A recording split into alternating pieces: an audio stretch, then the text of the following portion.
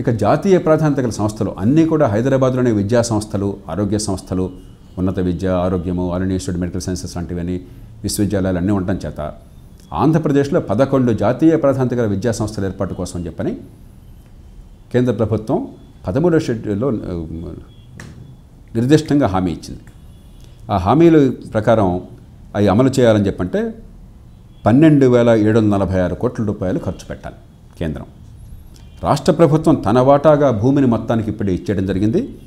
ఆ పైన తన వాటాగా కొంత మరుగు సదుపాయాల డబ్బును కూడా కేటాయించడం జరిగింది. కానీ కేంద్రం నుంచి ఇప్పటిదాకా ఈ పన్నెండు వేల ఏడు వందల నలభై ఆరు కోట్ల రూపాయల్లో కేవలం ఎనిమిది వందల నలభై ఐదు కోట్ల రూపాయలు మాత్రమే మంజూరైనాయి విడుదలైనాయి. అంటే కేవలం ఒక ఆరు పాయింట్ ఆరు శాతం అంటే తొంభై మూడు శాతం పైగా నిధులు ఇంకా విడుదల కాలేదు. ఇవన్నీ కూడా తాత్కాలిక ప్రాంగణాల్లో ప్రస్తుతానికి పనిచేస్తున్నాయి. ఇవన్నీ కూడా పదేళ్ళలో పూర్తి కావాలి. ఐదేళ్ళు పూర్తి అయిపోయింది కాబట్టి వేగంగా మిగతా డబ్బు కేటాయించే పని పూర్తి బాధ్యత రాష్ట్రానికి ఇవ్వాల్సిన డబ్బు కాదు. కేంద్రం రాష్ట్రంలో ఈ ఈ పథకాలకి ఈ సంస్థల కోసం ఖర్చు పెట్టాల్సిన డబ్బు. దీని వివాదానికి ఆస్కారం ఏం లేదు.